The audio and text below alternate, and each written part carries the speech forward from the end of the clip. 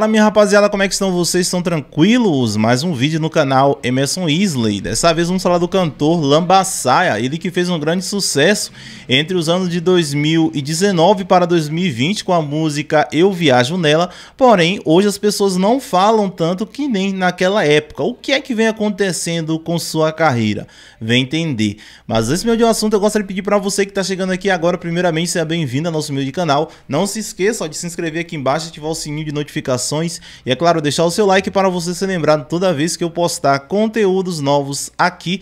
Lembrando a todos que este é um canal de entretenimento onde eu trago notícias, polêmicas, histórias, curiosidades e muito mais. Pois é, rapaziada, e antes mesmo de ao conteúdo, eu gostaria de deixar um trechinho da música Eu Te Amo Sim, da banda Caravana do Piseiro. Esta banda aqui é daqui de Osasco, em São Paulo, começou a se destacar bastante aqui dentro da capital nesses últimos meses, e por isso eu resolvi compartilhar um trechinho da nova música de trabalho deles para vocês, vejam. Eu te amo sim, não é mentira, eu tento disfarçar, não consigo, fico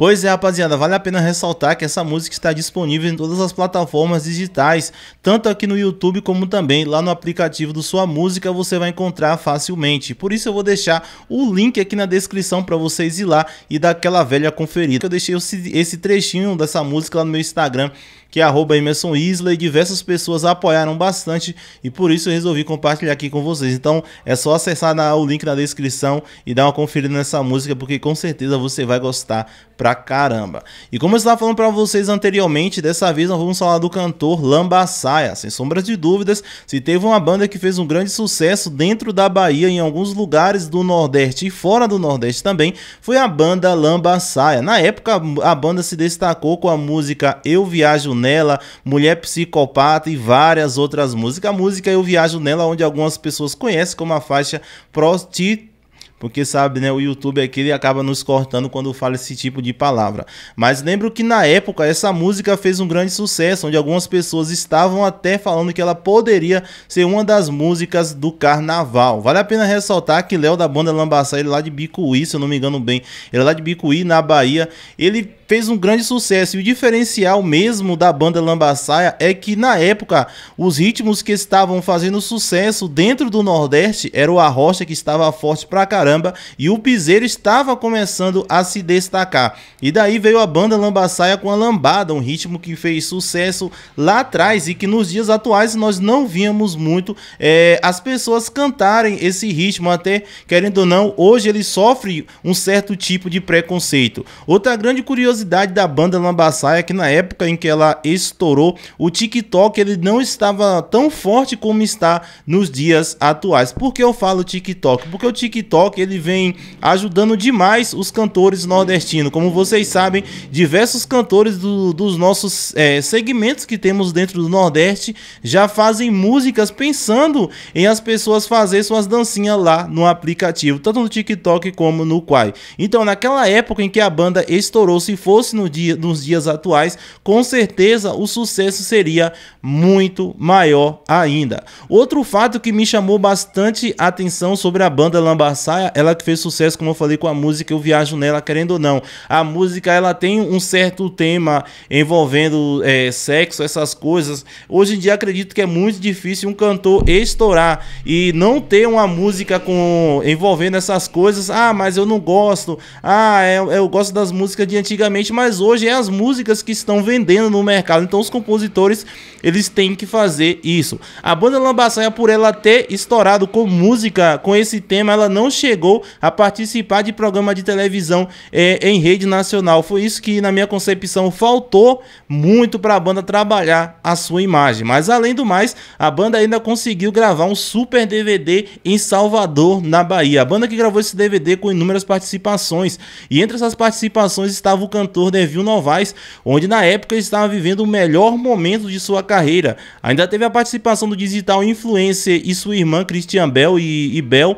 Também teve a participação de Márcio Vitor do Piscirico e na época esse DVD foi estrondoso, onde fez um grande sucesso, contabilizando milhões de visualizações aqui no YouTube. A música Eu Viajo Nela com certeza foi o maior sucesso da banda Lambaçaia, mas a música Mulher Psicó também estourou demais e hoje aqui o videoclipe oficial consta com quase 30 milhões de visualizações só no canal da empresa A Culpa é de Quem. Para vocês que não sabem, a banda Lambaçaia é agenciada pela empresa A Culpa é de Quem que pertence aos empresários Ricardo e Rafael Moura. E como eu falei para vocês anteriormente, embora a banda fazer muito sucesso naquela época, dois anos depois a banda não faz o mesmo sucesso que fez, porém ainda é bastante conhecida em diversas regiões regiões do país. Basta você acompanhar o cantor Lambaçaia lá no seu perfil no Instagram que vocês vão ver é, o público contagiando quando ele vai subir ao palco. E geralmente os shows do cantor são super lotados.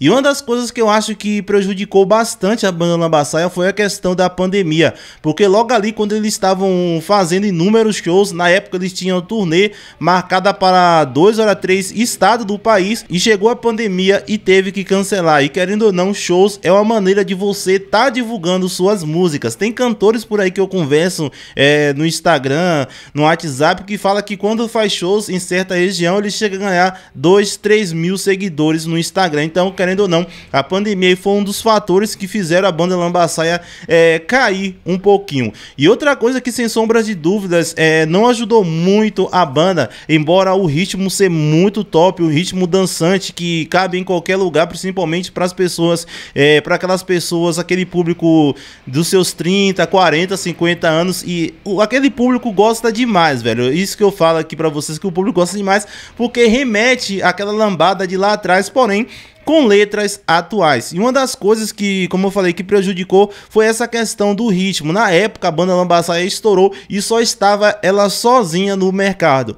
É uma coisa que eu, eu costumo dizer que uma dorinha só não faz verão. Então, assim, quando tem um ritmo que outras bandas começam a cantar, surge três, quatro ou cinco bandas fazendo sucesso, automaticamente o ritmo só vai crescer, vai crescer, crescer, crescer e vai se estabilizar no mercado, onde vai chegando mais cantores e fazendo mais sucesso. Então é isso aí, querendo ou não, prejudicou bastante a banda Lambaçaia. A banda Lambaçaia não lembra muito também um caso semelhante que foi quando aí Playboy com o ritmo batidão. Na época teve outros grupos ali que estouraram, mas o nome mesmo era Aldaí Playboy. E aí é, acabou que saturou só ele sozinho, não tem como é, é, segurar o mercado gigantesco e competitivo como nós temos nesses últimos é, anos. E outra coisa também que, querendo ou não, afetou não só o ritmo da banda, banda Lambaçaia, como outros estilos musicais também, foi a questão do piseiro, que quando veio de lá pra cá com os Barões da Pisadinha, Bill do Piseiro, Zé Vaqueiro, Massinho Sensação, DJ Ives e muito mais, acabou que atropelou todos os ritmos do Nordeste e de deixou diversos para trás, onde algumas pessoas criticam o movimento até hoje, mas querendo ou não, o piseiro ele passou por cima de tudo aí e até bateu de frente ali com o sertanejo em uma certa época, onde os 10 primeiros lugares lugares dos aplicativos de streaming só dava piseiro. Então, assim, o Nordeste é grande, mas ao mesmo tempo se torna pequeno. Então, quando se tem um ritmo que nem o piseiro que toma conta de tudo, querendo ou não, vai prejudicar bastante outros estilos musicais. Na minha concepção, foi isso aí que aconteceu com a banda Lambaçaia.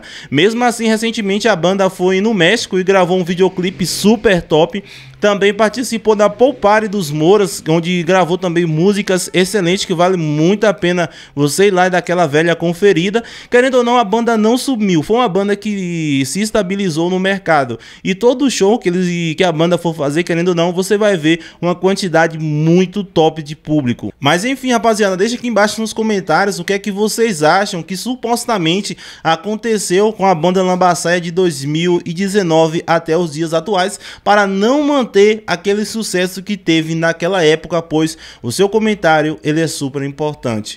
Bom, gente, esse foi o vídeo de hoje falando um pouco sobre a banda. Eu espero que vocês tenham gostado. Se você gostou, é só deixar aqui embaixo nos comentários a sua opinião e assistir os próximos vídeos que eu vou deixar aqui para vocês. Um abraço e até qualquer momento. Tamo junto.